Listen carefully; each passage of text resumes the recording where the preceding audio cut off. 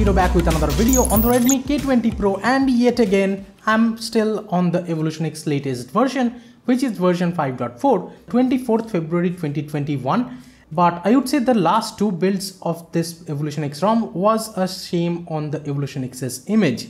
So what happened to those last builds? If you ask me, well, the first time it broke the mic. Like if you connect a headset with your device, then you can't do your WhatsApp calls or even Telegram calls or any other app based calls because the mic was simply not working when you connect a headset. On the second last build, now on the last particular build, it broke the safety net by default. But here on this 24th February 2021 build, yes, I have downloaded it and I have clean flashed it and the file size of Evolution X right now is about 1.4 GB and if you want to flash this ROM you can click on the card right there. The flashing procedure is still similar. Let me show you right now the safety net first. As you can see the safety net passes right out of the box so that has been fixed. No issues so far with that. And about the mic well I have tested the device's internal mic and also the headset mic over here is working flawlessly right now. No issues even the Google Assistant let me show you. Okay Google as you can see, the trigger with the voice assistant works super fine. Let me show you one more time. Hey Google.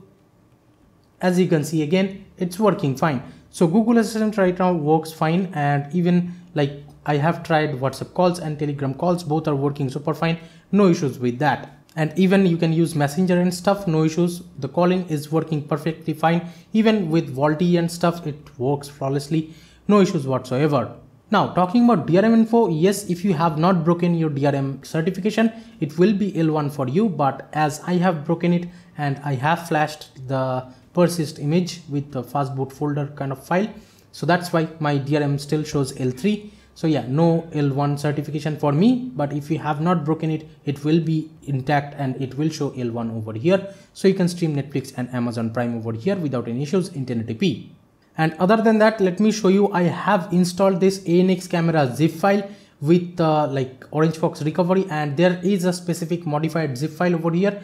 I will not recommend you using this, just use like if you have Magisk, just flash the ANX camera module from the official ANX camera website but this is a modified kind of zip which I have flashed with Orange Fox recovery. I'll link that below in the description too. So you can just flash it and you will get the ANX camera working if you just flash that like TWRP or like Orange Fox flashable ANX camera zip. But with that, there are some problems. The portrait mode is working as you are noticing. The portrait mode is actually working flawlessly. There is no issues with that. But the problem starts when you switch to the video mode. Let me show you with this video mode, there is only 1080p 60 fps option. There is no option like the 4K 60 fps. Those things are completely missing from this. So yeah, if you are flashing this, make sure you don't need the 4K 60 fps options. But with the front camera and stuff, everything is fine. As you can see, the front camera is working flawlessly. Even if you go to the video mode with the front camera, there's a 1080p 30 fps option. So that's not a problem here. But of course, the 48 megapixel mode may not work let me actually show you by clicking a picture as you can see it still takes a 2.8 megapixel photo. This is not a 48 megapixel actual photo. So yeah the 48 megapixel mode bug is still there. So that's a problem. So the 48 megapixel mode and the video in 4k 60 fps is not working with this zip. But let me tell you the evolution x does not come with any camera pre-installed as of right now. So if you need a camera you have to install either the google camera Urnyx version which you'll get from the card right there or you have to flash the ANX camera zip or you can go with any other Gcam or something if you want to install them. And here, let me show you some more things. The stock launcher is same, the pixel launcher that you get by default. Swiping up gets you to the app drawer, swiping down gets you to the notification panel or the quick settings panel. Widgets are working flawlessly. And to the left, you get this Google's Discover page again. So yeah, everything is like pretty normal and pretty similar that it used to be. And let me show you, you can add a couple of toggles over here. This is how the quick setting panel looks like there are plethora of toggles that you can add. I have definitely added couple of them and of course the screen recording is there of the oxygen os as you can see. There is the oxygen os kind of screen recorder. With this you can change the resolution and stuff the bitrate the frame rate everything else you can change. Also you get the stock android's android 11 screen recorder. And here as you can see you can record with the device audio and the microphone audio at the same time. No issues with that. And also there is the reboot toggle. So that's great. You can directly reboot to recovery by just tapping and holding on this toggle. And there is the fps counter too. So these things are still present. Desynching is there. No issues with the quick toggles over here. So here in the android version section this is how it looks like. On top we of course have the evolution x logo. Then if you tap and like keep tapping on the android version as you can see this is of course based on android 11 and from here you can see the evolution x version is 5.4 and the security patch is latest of february 5th 2021 let me scroll down. The build maintainer is still joe so of course and the stock kernel is perf-g and the build date is 25th February 2021 it shows over here. So again this is just an amazing build again by Joe I would say. And he keeps like fixing problems because the problems keeps coming. That's what custom ROMs are supposed to like have. And this is just experience of flashing custom ROMs. And here and there some things might break but the developers will fix in the time so yeah let me just jump into the system and we have the system updater over here. So you can check for updates from here, of course, that works fine. But the new thing which I have been noticing from the last like three builds or couple of builds over here is that in the gesture settings over here, if you go into the system navigation gestures and in the settings, if you are noticing there is the gesture bar length customization, also the gesture bar radius customization. So that is great. As you are noticing you can decrease the radius size if you want to. As you can see if you notice the pill bar over here on the bottom let me right now switch to the 4dp directly. And as you can see the gesture bar has become quite thick. So you can actually customize the thickness also the length of it if you wanna like have a smaller length. So you can do this as you are noticing it looks really really beautiful and you can customize the thickness and the length both. So that's great. And you can have the haptic feedback. Also there is the back gesture animation that you can disable. Also if you want to hide this pill bar completely you can hide that too. As you are noticing right now there is no pill bar.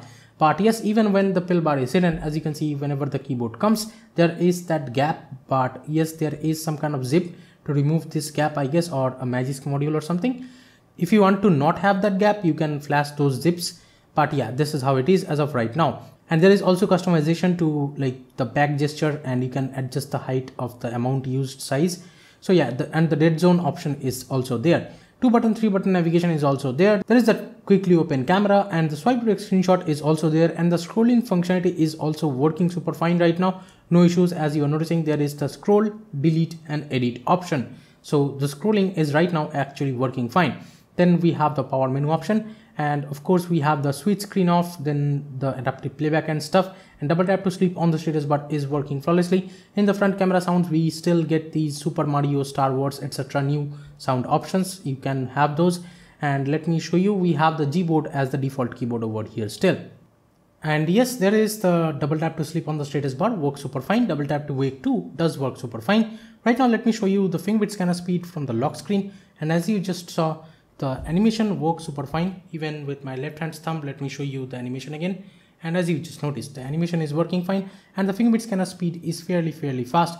Even from the always on display there was a delay earlier but right now that too has been fixed. Uh, if you are noticing there is no delay at all. Whenever i tap the fingerprint scanner it works 100% of the time. So very reliable fingerprint scanner experience over here no issues so far with the fingerprint scanner and here let me actually show you with the night light turned on and with night light turned on. From the always on display again it works fine.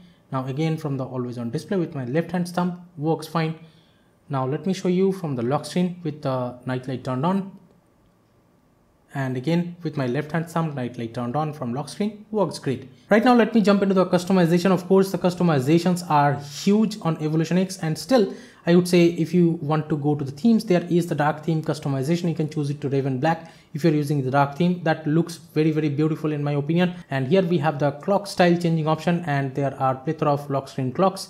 As you are noticing there are all these presets over here. There is some kind of ide clock.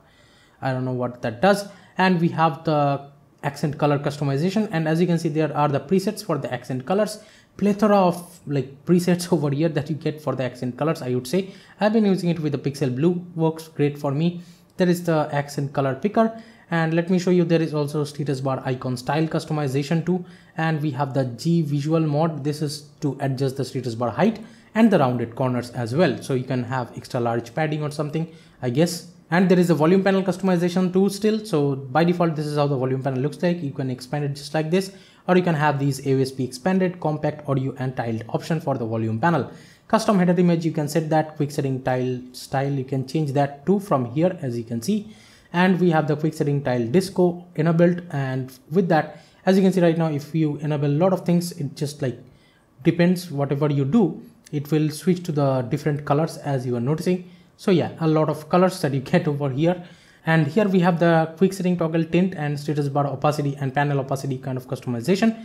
Let me go back. We have the status bar option. We have the clock and date then the battery bar customization. Status bar indicators is there. From here you can enable the battery percentage on the status bar of course. Still the customizations are similar that it used to be. VO Wi-Fi icon you can have and then we have the display VO LTE icon and stuff. And inside icon manager we have the headset bluetooth etc icons enabling option let me go back to the notifications. We have the heads up disabling option so that's great. And if you scroll down we have the battery charging light and stuff enabling option. And we have the show on new notifications. This is the edge lighting kind of customization. Vibrate on connect call call waiting disconnect everything is there. Inside quick settings we have the column and row number customization. Vibrate on toggle touch. Then if you scroll down we have the edit icon and stuff and we have the power menu customization from here. You get the advanced reboot. So from here as you are noticing there is the google smart home kind of customization. And inside advanced we get the directly rebooting option to recovery fast boot etc we have the aosp settings over here again and we have the screen record and stuff. You can add it on the power menu. And also we have the gesture settings. So from here we still have the brightness control. Double tap to wake on doors and switch screen off again is there. And over here we have the screen off power button toggle torch. Everything else is working fine inside lock screen we have the fingerprint error vibration and stuff authentication vibration. But again there is no option to always unlock with the fingerprint scanner as of right now. And we have the screen of fingerprint. If you need that also there is the fingerprint icon choosing option plethora of options that you get. And from here we still have all these animations as you are noticing including the cyberpunk 2077 animation. I'll show you the speed and stuff later on. Here we have the lock screen charging info. And again talking about charging the 18 watt fast charging is working flawlessly again. Inside navigations we have the system navigation kind of thing again over here. And inside hardware buttons we have these options. And inside animations you can change the whole UI animation and the screen of animation too. So that's great and inside MISC we have the gaming mode launch music app connection on a headset and charging animation you can enable that and inside USB configuration you can set it to file transfer. There is the radio info and the force brightness values for the ambient display. That's it for the customizations. Yes still have too much customizations. And inside battery settings right now this is how it looks like. We have this thermal profile management per app so that's great. You can see the full battery usage just by tapping over here. And if I scroll down there is the smart charging adaptive battery battery saver also there is the last full charge when you did that. And we have the screen on time of course and there is the battery temperature. So you can see the battery temperatures but yes there is no charging cycle or something. As of right now those have been removed for some reason. I do not know why. So no charging cycles or the current battery capacity design battery capacity those kind of things. Talking about battery life I have been getting pretty good battery life. You can get 6 to 7 hours of screen on time easily on this ROM as you are looking at the screenshots. Yes I took those like in the long screenshot mode and that worked fine. In the display settings, we have the lock screen first. So from here, we have the always on display and we have the double tap to check phone, wake screen for notification, ambient wake gestures are there. And we have some more things. Let me go back. We have the brightness level, dark theme, night light, live display. So from live display, you can have this RGB control. And from picture adjustment, you have the hue, saturation, intensity, and contrast customization. Let me go back. We have the adaptive for auto brightness inside styles and wallpapers. You get these themes and again you can have all these live wallpapers over here in the section. As you can see you can download and apply anything. I have been using a wallp wallpaper over here. I'll link that app in the description. Over here we have the rotation changing option then double tap to wake pocket detection enable blurs and the dc dimming mode is there. So right now in the sound settings this is how it looks like. We have the media call etc volumes and we have the show volume panel on the left side if you want to have that. And let me scroll down. We have the ringtone vibration kind of thing and we have the pulse option the pulse visualization if you want to enable that. And then we have the screenshot sound touch sound touch vibration etc disabling option. We also have the mi audio Dirac. And with that you can enable the mi audio Dirac. And as you can see with this you can set it to youth edition and the sound output with the headphone jack and the bluetooth as well should be pretty good over here. There is a hi-fi audio option too. Let me go back. We have the security option over here. But yes still there is no face unlock. Only the fingerprint option is there Now let me talk about the performance. Well, the performance has been pretty good so far over here and the RAM management is like pretty good too as usual. And here are the Antutu and Geekbench score of this ROM. So yes, Evolution X had bugs, but right now it has been totally fixed with the 24th February 2021 build. So I would say this is the right time to go for the Evolution X if you are someone who was waiting to like have the bugs fixed or something or if you want to flash a really great stable like custom ROM on your Redmi K20 Pro, this is the like one of the best ROMs. So thank you so much for watching this video guys. Give it a thumbs up if you liked it, subscribe to the channel down if you have not yet and please share this video with your friends if you feel like and do hit that applaud button if you want to support my channel. This is Tito from KTN Tech signing off for today and I'll be catching you guys in the next one. Bye bye now.